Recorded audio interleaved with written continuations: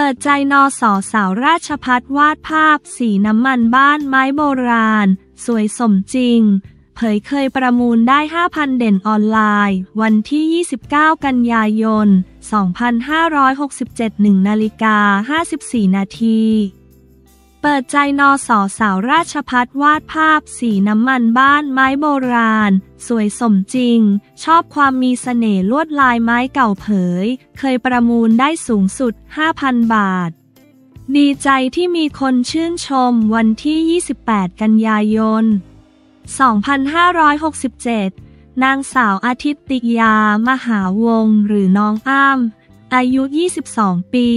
นักศึกษาชั้นปีที่ 4 สาขาวิชาศิลปศึกษา คณะครุศาสตร์ มหาวิทยาลัยราชภัฏบุรีรัมย์ เปิดใจถึงผลงานภาพวาดสีน้ำมันบ้านไม้โบราณ ที่สวยสมจริงจนสร้างความฮือฮาในโลกออนไลน์ ทั้งรายละเอียดความเก่าของไม้สิ่งของที่จัดวางในบ้าน โดยน้องอ้ำเผยว่า ภาพวาดดังกล่าวได้รับแรงบันดาลใจมาจาก บ้านไม้โบราณ เพราะตนมีความชื่นชอบความงาม ความมีเสน่ห์ของบ้านโบราณ ความงามของลวดลายของไม้ที่ผ่านการใช้งานมาอย่างยาวนาน รวมถึงข้าวของเครื่องใช้ตามวิถีชนบทในสมัยก่อน ซึ่งปัจจุบันเริ่มมีให้เห็นน้อยลง น้องอ้ำกล่าวต่อว่า ตนอยากถ่ายทอดออกมาเป็นผลงานศิลปะ เพื่อให้ทุกคนได้ชม ซึ่งได้ลงพื้นที่ถ่ายรูปบ้านไม้โบราณ ที่อำเภอประโคนชัย และสเก็ตรูปขึ้นมาห้ารูป แล้วเลือกรูปที่ถูกใจนำมาวาดเป็นชิ้นงานดังกล่าว โดยใช้เวลาวาดประมาณ 10-15 วันในแต่ละภาพ เพราะต้องเก็บรายละเอียดสีเงาแสง ให้ภาพสมจริงมากที่สุด น้องอ้ำบอกอีกว่า หลังจากโพสต์รูปภาพลงเฟซบุ๊กเพื่อแสดงผลงาน ก็มีคนแชร์และเข้ามาคอมเมนต์เป็นจำนวนมาก โดยส่วนใหญ่บอกว่า รูปที่วาดทำให้นึกถึงบ้านของตัวเอง วิถีชีวิตทำให้ได้ย้อนอดีตถึงสมัยก่อน ตนก็รู้สึกดีใจที่มีคนชื่นชมในผลงาน ไม่คิดว่าจะมีคนแชร์เยอะขนาดนี้ น้องอ้ำกล่าวต่อว่าตอนจะนำไปต่อยอดสร้างผลงานอื่นขึ้นมาเรื่อยๆ ซึ่งผลงานต่างๆ จะนำขึ้นประมูลที่หน้าเฟซบุ๊กส่วนตัวชื่อ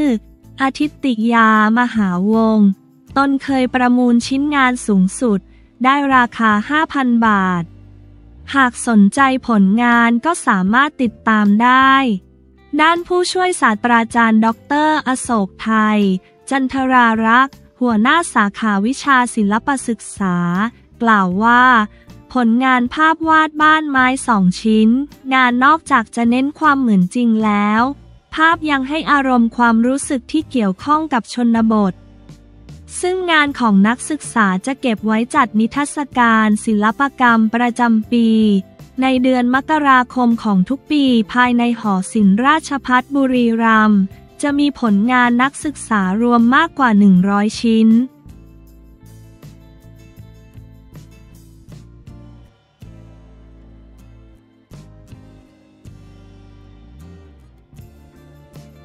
สื่อเทศจับตานายกรัฐมนตรี เตรียมโชว์วิสัยทัศน์ครั้งแรก การประชุมสุดยอดผู้นำ ACD การเมืองวันที่ 29 กันยายน 2567 9นาฬิกา59 นาทีสื่อเทศจับตานายกรัฐมนตรี แพทองทานเตรียมขึ้นโชว์วิสัยทัศน์ครั้งแรก ในการประชุมสุดยอดผู้นำ ACD ที่กรุงโดฮาสัปดาห์นี้ หลังรับตำแหน่งเมื่อวันที่ 29 กันยายน นายจิรายุ ห่วงทรัพย์ที่ปรึกษาของนายกรัฐมนตรี เปิดเผยว่านางสาวแพทองทานชินวัตรนายกรัฐมนตรี และคณะมีกำหนดการเดินทางเข้าร่วมประชุมระดับผู้นำกรอบความร่วมมือเอเชียเอเชียโคโอเปเรชันไดอะล็อก ACD ครั้งที่ 3 ระหว่างวันที่ 2 ถึง 3 ตุลาคม 2567 ณกรุงโดฮา รัฐกาตา ตามคำเชิญของเชคตมีมบินฮามัดอัลสานี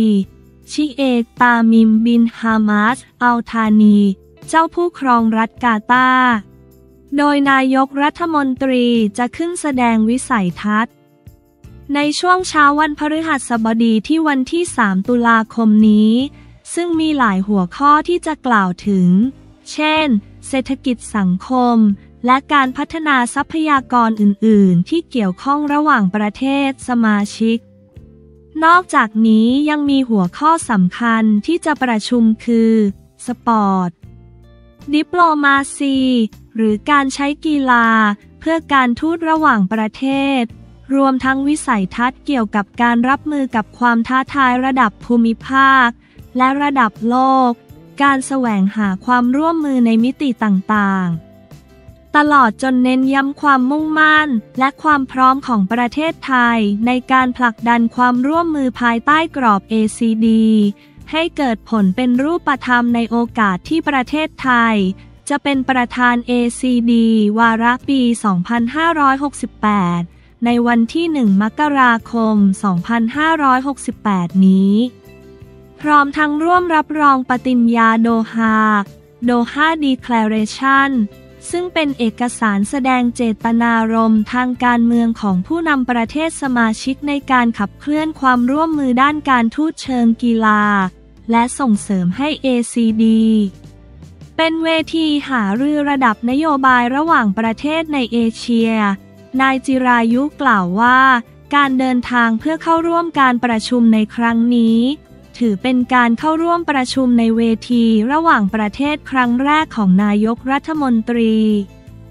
ซึ่งสื่อมวลชนต่างประเทศให้ความสนใจกับผู้นำของประเทศไทย คนใหม่ที่จะเดินทางไปแสดงวิสัยทัศน์เป็นครั้งแรก หลังจากรับตำแหน่ง และเป็นโอกาสสำคัญของไทยในการประชาสัมพันธ์ประเทศในทุกมิติอีกทั้งจะเป็นการส่งเสริมความสัมพันธ์ระดับทวิภาคี กับประเทศสมาชิก ACD ให้มีความแน่นแฟ้นมากยิ่งขึ้น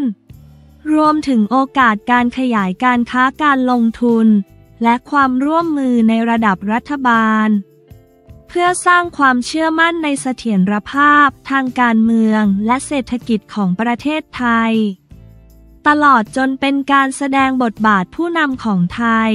ในฐานะผู้ริเริ่มจัดตั้งกรอบ ACD ซึ่งถือเป็นกรอบความร่วมมือที่มีประเทศในภูมิภาคเอเชีย เป็นสมาชิกมากที่สุดถึง 35 ประเทศ การประชุม ACD ว่างเว้นเป็นเวลานานถึง 8 ปี จากสถานการณ์โรคระบาด โดยครั้งนี้สาธารณรัฐอิสลาม อิหร่าน จะเป็นประธานการประชุม และรัฐกาตาเป็นเจ้าภาพในการประชุม รวมถึงมีการจัดการประชุมภาคธุรกิจคู่ขนานไปกับการประชุมดังกล่าวด้วย ซึ่งรัฐบาลไทยมีรัฐมนตรีที่เกี่ยวข้องกับกระทรวงเศรษฐกิจ อาทิ นายพิชัยนริพพันธ์รัฐมนตรีว่าการ กระทรวงพาณิชย์จะร่วมเดินทางเพื่อประชุมร่วมกับรัฐมนตรี สมาชิก 35 ประเทศอีกด้วย นายจิรายุกล่าว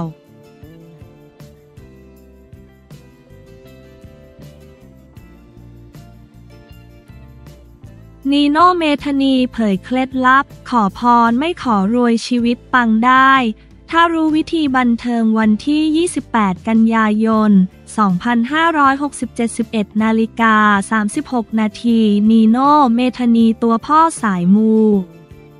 เดินสายไหว้พระเผยเคล็ดลับ ขอพรจากสิ่งศักดิ์สิทธิ์ ไม่ขอรวย ชีวิตปังไม่หยุด ถ้ารู้วิธีสุขกับการใช้ชีวิต ไม่ต้องรวยแข่งกับใครสายมูตัวจริง ต้องห้ามพลาด นีโนเมธานี หรือที่หลายคนรู้จักกันในฐานะนักแสดงและพิธีกรมากฝีมือ กลายเป็นตัวพ่อสายมูอีกคนที่มีความเชื่อ ในเรื่องการขอพรและการเสริมดวง มาเผยเคล็ดลับขอพรสุดปังที่ทำให้ชีวิตปังไม่หยุดคือ การขอพรไม่ขอรวยช่วงวันว่าง หนุ่มนีโน่จะขออนุญาตไปเดินสายไหว้พระ ขอพรจากสิ่งศักดิ์สิทธิ์ต่างๆ เติมพลังบวกที่ วัดไผ่เงิน และเข้าร่วมพิธีขององค์ท้าวเวสสุวรรณเทพเจ้า แห่งโชคลาภและความมั่งคั่ง อยากรู้เคล็ดลับขอพรแบบพี่โน่ว่าทำยังไงถึงจะปังตามบ้าง ตามมาดูกันเลย นีโนเมธนี เวลาไปขอพรสิ่งศักดิ์สิทธิ์ ก็จะขอให้ชีวิตลูกราบรื่น ขอให้มีความสุข ขอให้ลูกไม่เจ็บไม่ไข้ขอให้ลูกมีงานทำไม่เคยขอให้รวย แต่ขอให้มีงานทำคือมีความรู้สึกว่าต้องรวยเท่าไหร่ถึงเรียกว่ารวย หลายคนบอกพี่นีโน่รวยแต่พี่ก็เห็นคนรวยกว่าพี่เป็นล้านล้านคนแล้ว มันก็ไม่ได้รวยกว่า เขามันก็ไม่รู้ว่าจะเรียกว่ารวยยังไง เพราะฉะนั้นความรู้สึกของเราคือให้มันมีเถอะ ให้มันมีงานทำมีเงินใช้จ่าย ให้มันมีความสุขกับการใช้ชีวิตของเรา ไม่ต้องไปรวยแข่งกับใครเขา และสำหรับใครที่อยากให้ชีวิตปัง งานไหลมาเทมาต้องมาที่นี่ เทวสถานโบสถ์พราหมณ์เสาชิงช้า สถานที่ศักดิ์สิทธิ์คู่เมืองกรุงเทพมหานคร ที่มีองค์เทพศักดิ์สิทธิ์คอยปกป้องคุ้มครอง โดยเฉพาะองค์พระพิคเนตที่เป็นที่เคารพสักการะของเหล่าสายมู มาขอพรเรื่องความสำเร็จในหน้าที่การงานกันค่ะ เสริมดวงชะตาให้ปัง กับการมากราบไหว้องค์พระพิคเนตที่ เทวสถานโบสถ์พราหมณ์เสาชิงช้า สถานที่ศักดิ์สิทธิ์คู่เมืองกรุงเทพมหานคร ที่สร้างมาก่อนศาลหลักเมือง เชื่อกันว่าจะช่วยให้การงานก้าวหน้า มีอุปสรรคน้อยลง และประสบความสำเร็จในทุกๆด้านนีโนเมธานี เวลาที่รู้สึกว่าอยากไหว้อยากบูชาเทพ ในสายฮินดู พราหมณ์พี่ก็จะไปกราบที่นั่นก่อนอย่างแรก เพราะว่าที่นั่นมีองค์พระพิคเนตที่เรียกได้ว่า เก่าที่สุดในประเทศไทยอยู่ที่นั่งองค์หนึ่ง ก็จะมีอยู่ประมาณ 2-3 องค์ องค์หนึ่งอยู่ที่เทวสถานอีกองค์หนึ่งที่เก่าแก่ จะอยู่ที่พิพิธภัณฑ์สถานแห่งชาติ ในเทวสถานนั้นถือเป็นศูนย์รวมแห่งการบูชาทั้ง เทพฮินดู และพราหมณ์ที่สำคัญในประเทศไทย เรียกได้ว่าทุกองค์สำคัญสำคัญไม่ว่าจะเป็น พระศิวะ พระวิษณุ หรือพระพิคเนตจะมีองค์จำลองประดิษฐานอยู่ในนั้นทำให้ผมมักจะเริ่มต้นการขอพรที่นั่นก่อนเสมอ เมื่ออยากบูชาเทพเจ้าในสายฮินดู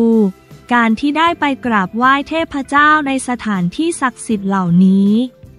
ทำให้พี่นีโน่รู้สึกได้ถึงพลังงานที่ดี และได้รับความมั่นคงทางจิตใจ